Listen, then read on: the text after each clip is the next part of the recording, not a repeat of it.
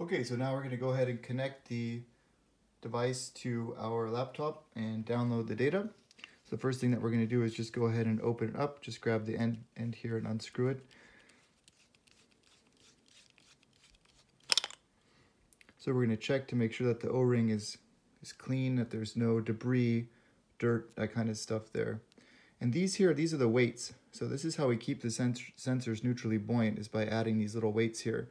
So what you can do if you want to make the sensor lighter, you can take some of these weights off and it will become buoyant and float right up to the top.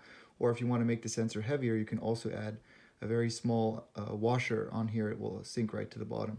So you can actually control the buoyancy of the sensors by adding or removing weight from these uh, from this end here.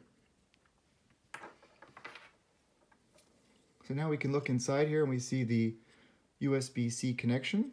So we have our regular USB-C cable. It will work with any cable. It doesn't need a special cable. Go ahead and plug that in. And then we're going to plug the other end in here. This is just a regular USB connection.